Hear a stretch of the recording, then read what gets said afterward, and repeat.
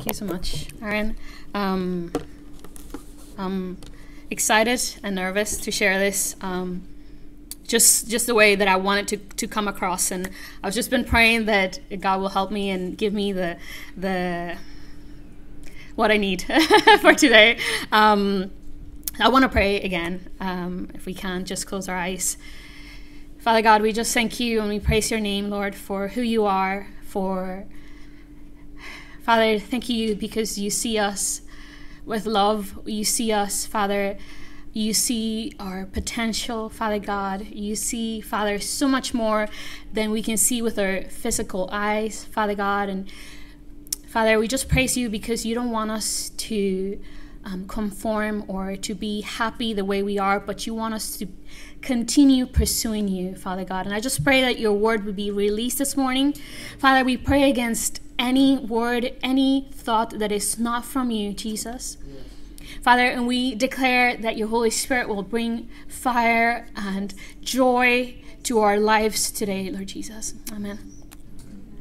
Um, so, I was asked to continue the series of Galatians, and um, I had something in mind, a verse in mind, but then I realized Neil was preaching on the first chapter um, two weeks ago, and I was like, oh man, I really felt like I had to um, just base my my my word on this verse.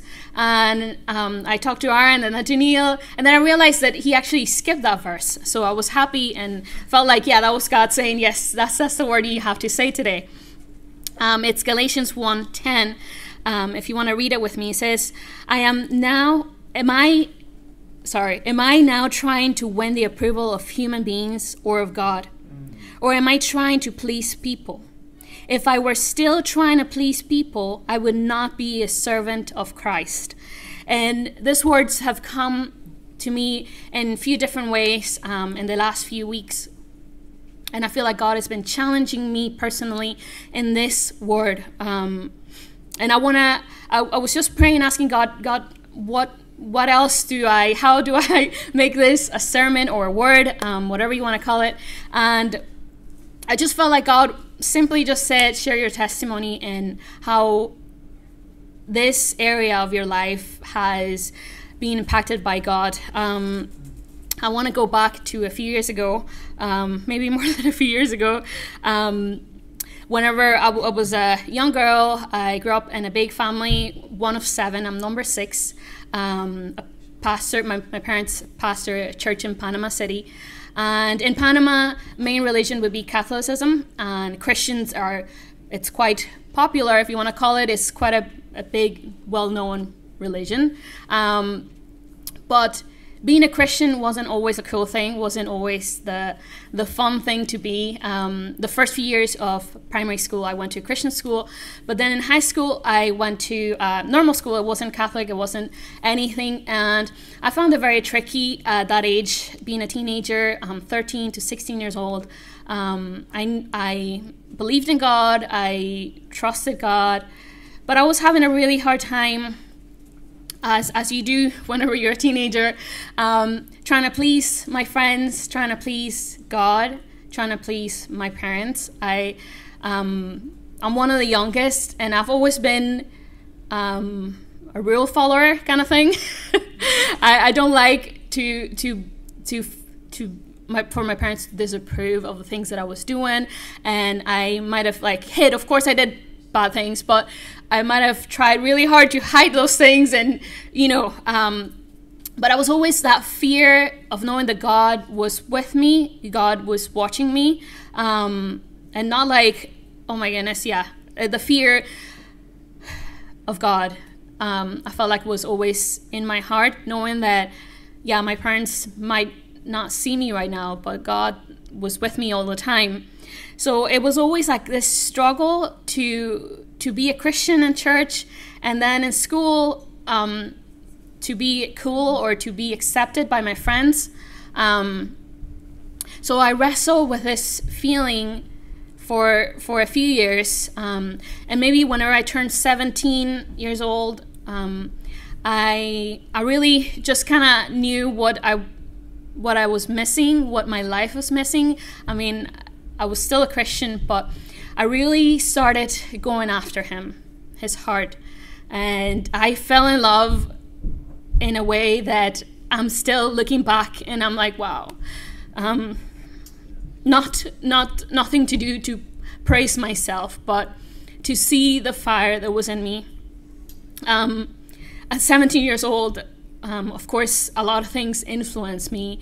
We had a, a great youth pastor who was on fire for missions and for God, and he would taking us to different places, and and that heart started growing, and that passion for God started growing. And one of my best friends, um, she wasn't a Christian girl, and she her parents were going through a divorce and she would have just talked to me quite a bit and i mean we're only 16 17 years old and she's telling me all these things and i'm like okay you know the only thing i knew what to say to her was i'm gonna pray for you and and i'm praying for you and my mom is praying for you and um, she kept coming back to telling opening her heart and telling me all these things and um, I remember one day I got, you know, just that courage to just share the gospels with her and say, look, this is what you need. You need God. And and right away she just kind of says that I I don't I don't really want to hear of your religion. You know, we are we're best friends, but I don't really care about what you have to say. And let's just you know, you with your religion and me with my religion. Let's just leave it at that. And I was like, okay. um, all right, let's that's fine. And um, but I continue. I said, okay, but I'm gonna keep praying for you, and um, that was okay with her. And then we um, eventually, you know, we kept I kept praying for her, and then she started asking me, "Can you pray for this?" and "Can you pray for that?"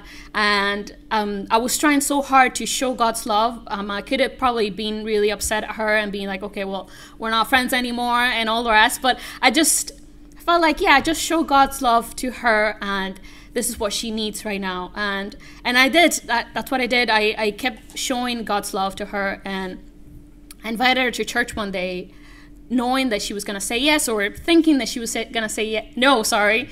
And she did say yes. She she came in with church, to church with me.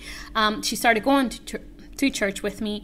But and and that was amazing. Like i was so so, so amazed by God's faithfulness and to see her becoming a Christian and giving her life to God. Um, another one of our friends, he also gave his life to the Lord, and and to see back to that young girl that was so on fire for God, that was not embarrassed, that didn't care anymore about fitting in, that didn't care anymore about being cool or being, um, yeah, being in.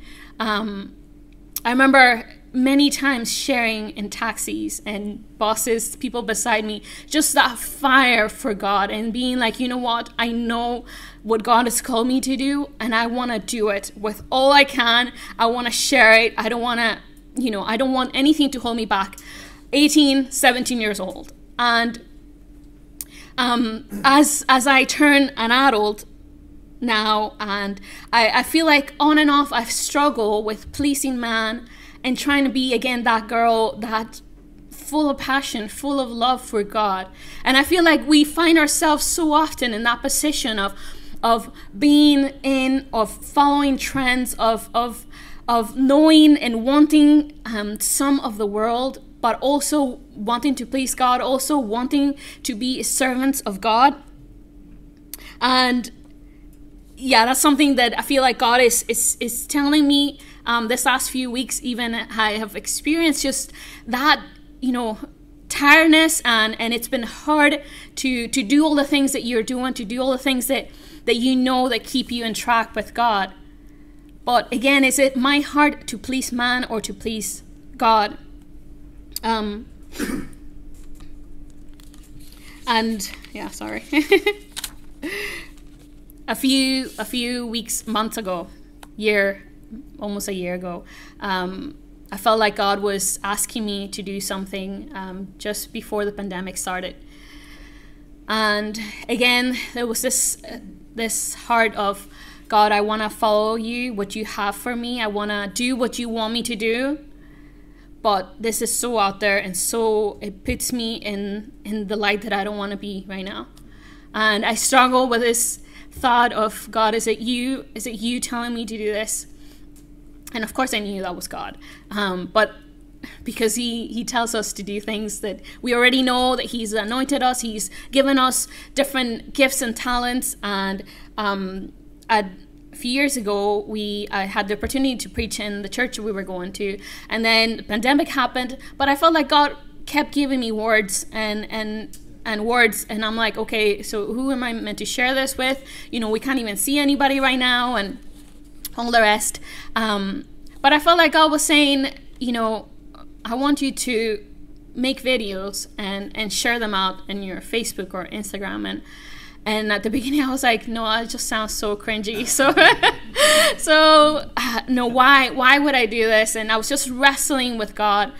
Um, but eventually I just I shared it with Simon and he was like yeah that's a good idea and I'm like yeah but I don't want to I don't I don't want to be the one doing it somebody else can do it but I don't want to be the one doing it um, because of the fear again of what will people say, what will my friends say, um, what if nobody sees it? And then it just came to a point. It's like God, I don't care. I don't want to care. I, of course, I do care, but I don't want to care. I don't want to care what people think. If you have called me to do something, I want to say yes. I want to do it. And I feel like that's the heart that God wants to give us today a heart that says, you know what, I am tired of following whatever thing I feel like I'm following. I want, I want to have a heart, a passion for God. That our hearts will return to that first love, that our hearts will return to that person, that girl, that guy that was just so on fire. I feel like that's that's who God wants us to be today. That's what our generation our friends, our neighbors need. That passion, that fire for God that will not be quiet, that will not get embarrassed. Because what if they don't like it? Well, who cares if they don't like it or not? I'd rather please God than please man. I'd rather be great in the eyes of God than be great in the eyes of men. And I feel like that's the heart that God wants to give us today. We live, we live in a culture that even in church, I feel like that being pl- people pleaser has filtered in so easily. We're trying to please people more than God. And this is not just for our church, it's for the church in general. Because we might be afraid of what people think, or people leaving the ministry, or people criticizing our ministry. We are worried of what people would say.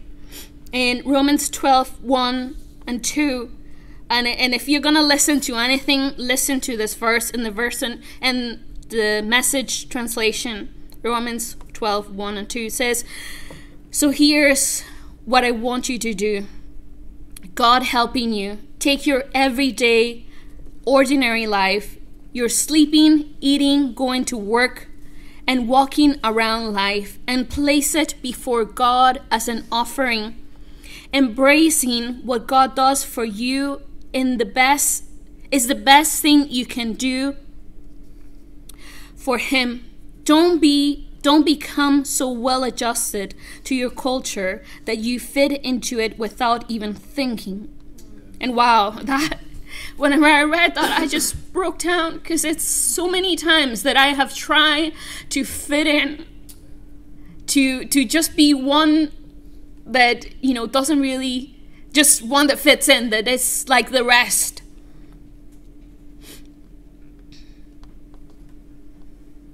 Instead, fix your eyes, your attentions on God. You'll be changed from the inside out. Readily recognize what He wants from you and quickly respond to it.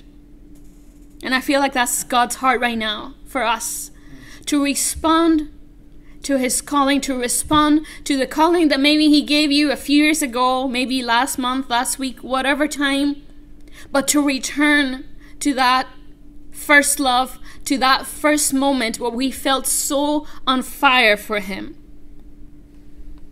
Unlike the culture around you, always dragging you down to its level of immaturity, God brings the best out of you, develops well formed maturity in you?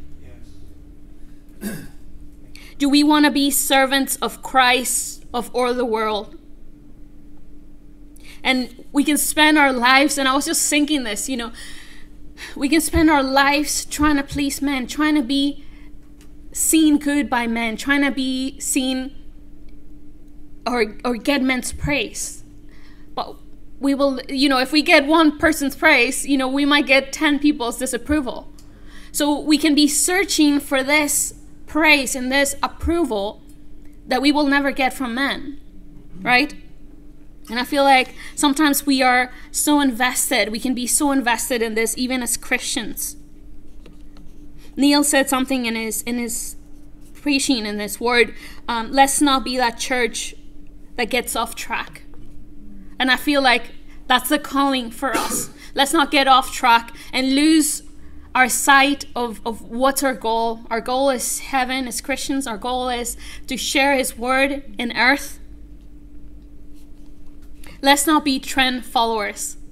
And this is something that I was talking to my son. Let's not be trend followers, not because he was doing it, but we were just having an argument about a discussion about it. Um, it's so easy to want to follow a trend but it could take us away from what God wants. And I'm not saying by this that, you know, I, I love trends, I love fashion, I love different things, but if this is taking our eyes from God, if this is becoming the number one thing that I'm trying to pursue, that I'm trying to serve, that's that's not okay. Of course it's not. That's taking God's place in our hearts, in our lives. If we choose God and we know this, but at times I feel like, you know, we, we may forget that if we choose God, our reward in heaven and even on earth, because He says so, will be so much greater than if we are trying to follow what what's in, what's out there. In Matthew 5 10 and 16, it says, Blessed are those who are persecuted because of righteousness mm. for there is the kingdom of heaven. Blessed are you when people insult you, persecute you, and falsely say all kinds of evil against you because of me. Rejoice and be glad, because great is your reward in heaven. For in the same way that they persecute persecuted the prophets who were before you, you are the salt of the earth. But if the salt loses its saltiness, how can it be made salty again? It is no longer good for anything except to be thrown out and trampled underfoot. You are the light of the world. If you can say that with me, you are the light of the world. And that's each one of us. That's what He's called us to be the light of this world. A town built on a hill cannot be hidden. Neither do people light a, a lamp. Sorry, neither do people light a lamp and put it under a bowl. Instead, they put it on a stand and it gives light to everyone in the house. In the same way, let your light be, shine before others, and they may see your good deeds and glorify your Father in heaven. We know what we're called for. Each and one of us. That doesn't exclude anybody. We are called to be the salt, to be the light, and we can't hide that. I feel like the enemy is constantly trying to to make us, you know, just I just want to not not be seen by anybody, you know, but that's that's not what God has called you to do. He's called you to be out there, different, crazy, who cares? I'd rather be crazy than be sane and be like the rest. And I know that's, that's, that's our heart. I know that's our heart as church to be the salt of this earth. We are called to be the light in the midst of the darkness. We live in a dark world and a world full of disappointments and and we have the answer we have what so many around us need. I want to finish off by reading Matthew 28, and I want to read two versions of it. Whenever Jesus went back to heaven, it says, Then Jesus came to them and said, All authority in heaven and on earth has been given to me. Therefore, go and make disciples of all nations, baptize them in the name of the Father and the Son and of the Holy Spirit, and teach them to obey everything I have commanded you. And surely I am with you to the very end of age. I just feel like God is reminding us of that calling. Going back to that first love, where nothing else mattered. I want to pray right now before I finish reading the other one.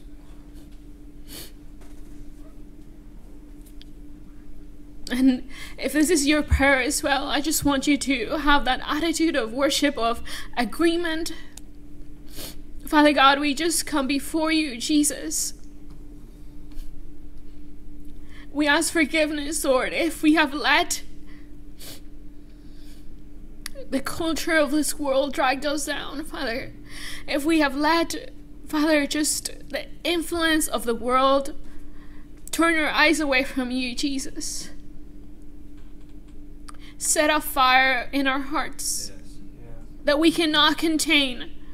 Father God, we pray for those signs and wonders, Father God, that will follow us whenever we start doing what you want us to do, which is sharing the Gospels, which is telling others about you, Lord Jesus.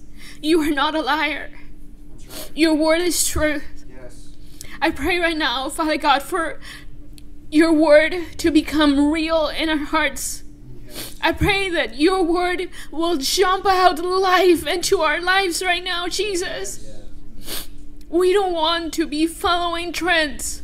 We want to follow you, Jesus. We want to be your servants, Lord. And like Paul said, Father God, we are your servants, Lord, and we are not people pleasers, Lord. Help us understand your calling right now, Father God. Help us be aware of what this world needs, Lord Jesus. Help us be that salt. Help us be that light, Lord Jesus. I pray against any spirit of intimidation or any spirit, Father, of Father, of fear of men, Lord, because that's not from you, Jesus. I pray for boldness over my brothers and sisters. I pray for boldness over my brothers and sisters, Lord Jesus.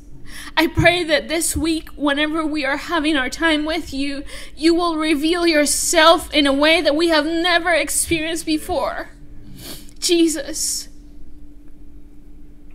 I thank you for each and one of my brothers and sisters that are here. Father, I pray for passion right now, Jesus, right now. Amen um, the other verse that I wanted to read is the same um, whenever Jesus was going into heaven, but it says something that um, Aaron was talking about. He said to them, Go into the world and preach the gospel to all creations. Whoever believes and is baptized will, will be saved, but whoever does not believe will be condemned. And this signs will accompany those who believe. In my name, they will drive out demons. They will speak in new tongues. They will pick up snakes with their hands, and when they drink deadly poison, it will not hurt them at all. They will place their hands in sick people and they will get well. And this is a promise that God has given us, Jesus has given us whenever He went to heaven. And He is desiring hearts that are willing to say yes to his calling, whatever that may be. So,